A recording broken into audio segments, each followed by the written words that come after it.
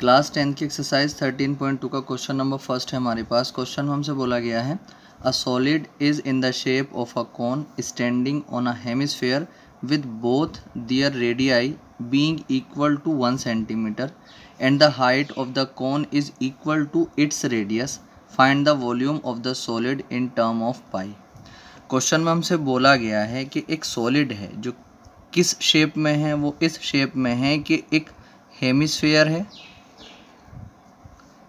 ये क्या है? हेमिस्फेयर है। और इस हेमिस्फेयर के ऊपर जो है एक कोन रखा हुआ है, ठीक है? इस शेप में जो है एक सॉलिड है, ठीक?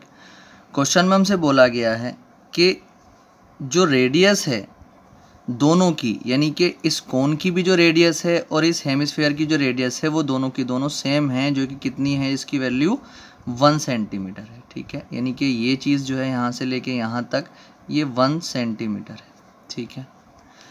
अब आगे हमसे बोला गया है and the height of the cone is equal to its radius और जो हाइट है कोन की, यानी कि ये वाला पोर्शन ये जो है, ये, ठीक है? ये ये जो है, वो भी कितना है? जितनी इसकी रेडियस है, उतनी ही इसकी हाइट है। तो इसकी रेडियस कितनी है? वन सेंटीमीटर, इसकी हाइट भी कितनी हो जाएगी? One centimetre.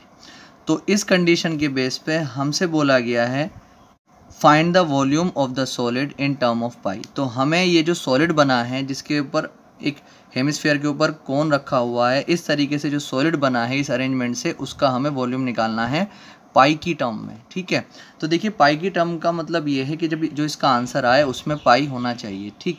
अब देखिए, सबसे पहला काम आप क्या करेंगे इस क्वेश्चन का वॉल्यूम निकालने के लिए?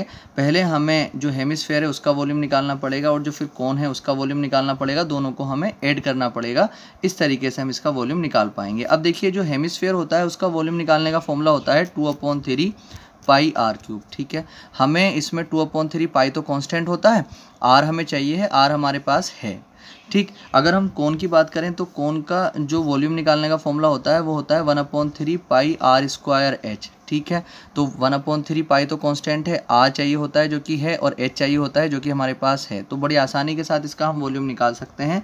तो यहाँ पर पहले हम यहाँ पर लिख लेंगे फोर कोन, जब कोन के लिए हम लिखेंगे कोन की जो हाइट है हमारे पास, जो हाइट है कोन की वो कितनी है? वन सेंटीमीटर है और जो इसकी रेडियस है आर वो भी कितनी है? वन सेंटीमीटर है। ठीक, इसी तरीके से अगर हम बात करते हैं फोर हेमिसफेयर हेमिसफेयर अगर हम हेमिसफेयर की बात करते हैं तो इसकी इसके लिए जो आर है वो कितनी है? वो भी वन सेंटीमीटर है। ठीक है?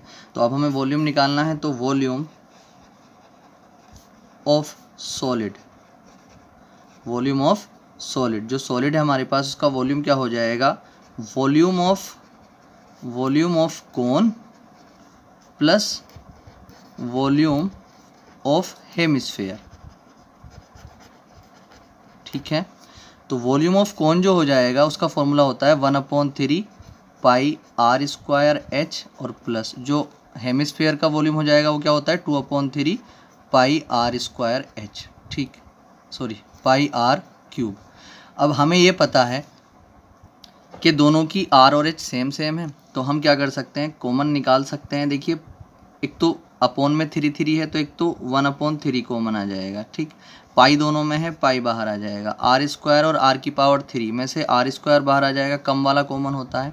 एच नहीं है एच अंदर रहेगा तो एच रहेगा प्लस एच रहेगा यहाँ से, बाकी चीज़ें बाहर आ गई हैं।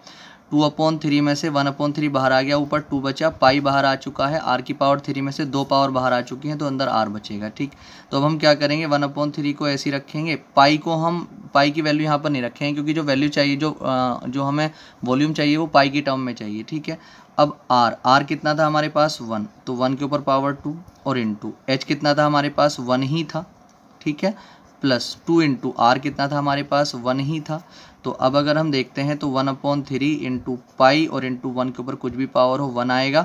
और यहाँ पर वन और टू वन ज़ा टू, और ये जब जोड़ेंगे इनको कितना आ जाएगा? थ्री आ जाएगा। थ्री से ये वाला थ्री ख़त्म कर सकते हैं हम।